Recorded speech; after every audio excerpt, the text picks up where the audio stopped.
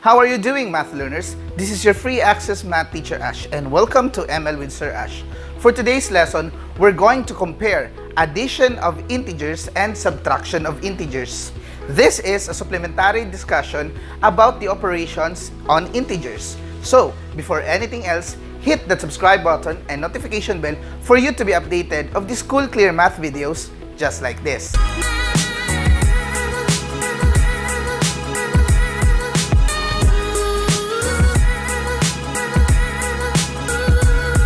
Hello math learners!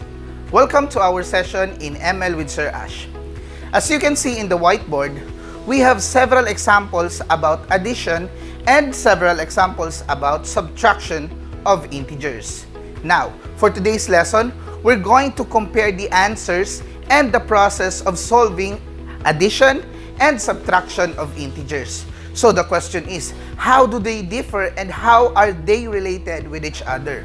Now, if you could still remember our video about addition of integers, there are only two rules in adding integers. The first one is that if you are adding like terms, meaning positive plus positive or negative plus negative, what you will do is you add the numbers and copy the sign.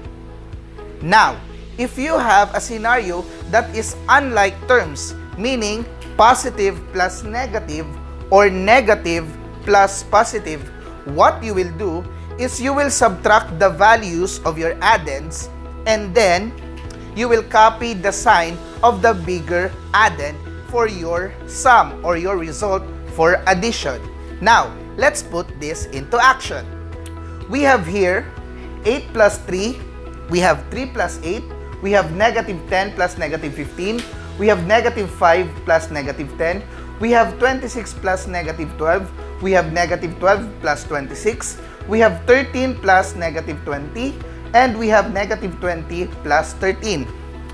These are the same values or the same numbers that we will be focusing also in subtraction. However, the operation matters. Okay, so let's compare whether the answers are just the same. Okay, now let's start into answering. 8 plus 3, that means positive plus positive. The answer for addition is that we will just add them directly and then copy the sign. Since both are positive, we just add 8 to 3 and we have the answer positive 11. Okay?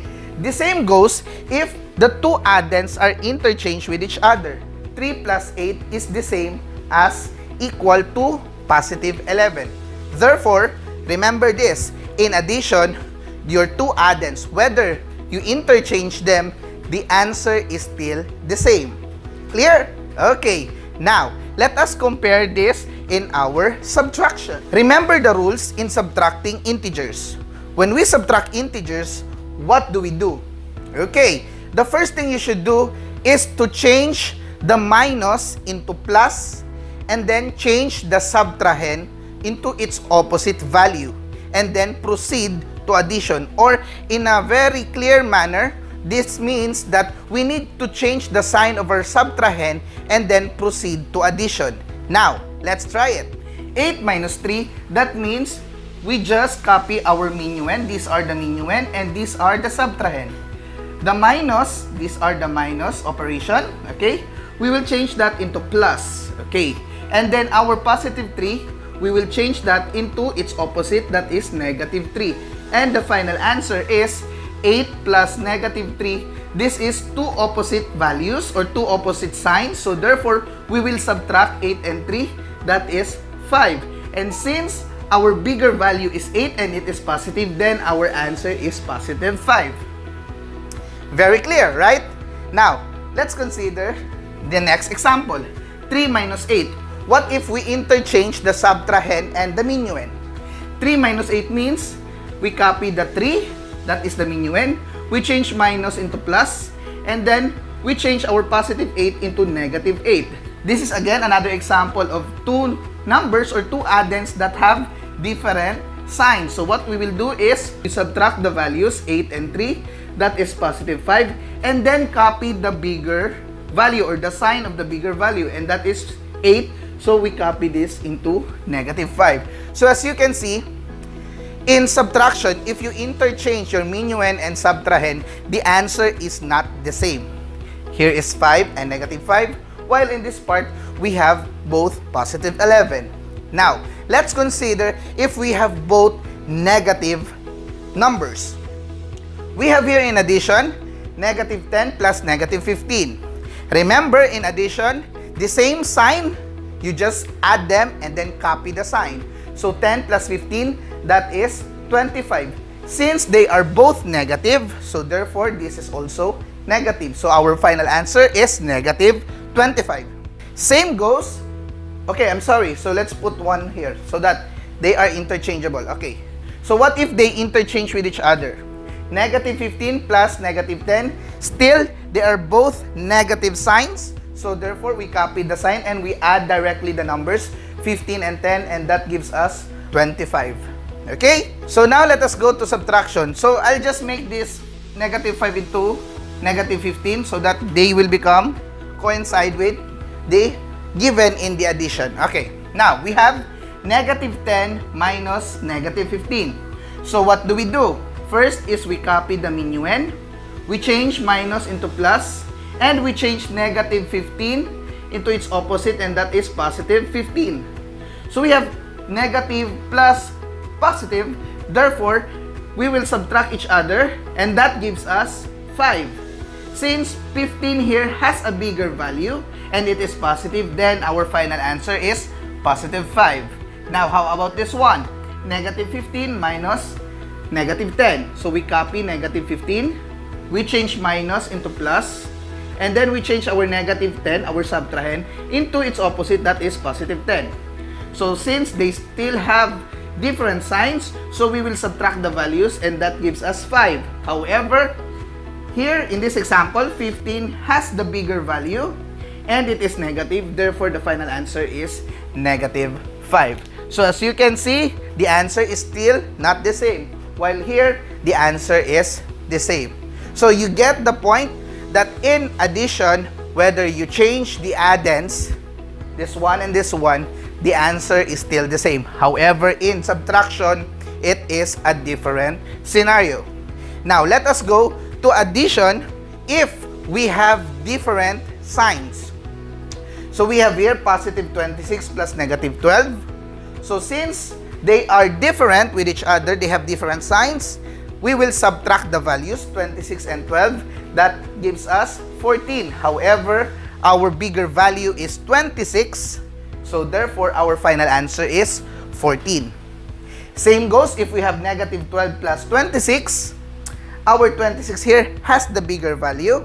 And we will subtract each other because they are in different signs. So, the answer is still positive 14.